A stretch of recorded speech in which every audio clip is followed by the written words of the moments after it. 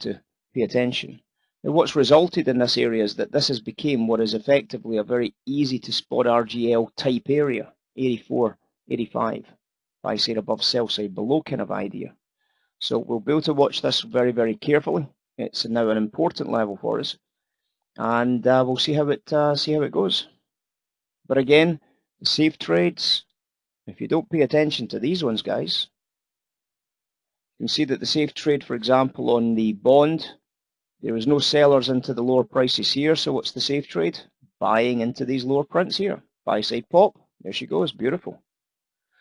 What's been the safe trade on the pound? Well, we told you at the time it was to sell down into this phase here.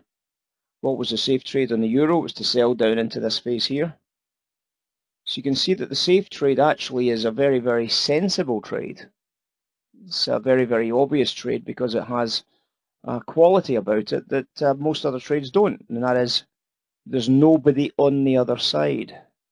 It's pure price action and liquidity. So there's nobody on the other side. So when you can get rid of both the buyers, both kinds of buyers or both kinds of sellers, life should be relatively straightforward for us, like this bottom edge bond. There were no sellers into the low prices. So why would you want to do anything other than try and buy up some low prices? It's pretty straightforward, guys. Same for the S&P here. There are no buyers into this level 2 liquidity here, so why would you want to be doing anything other than selling into that price? And the takeaway from that trade was glorious. Beautiful trade.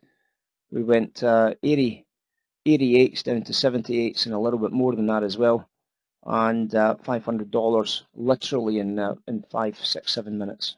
A great trade, lovely bit of outcome.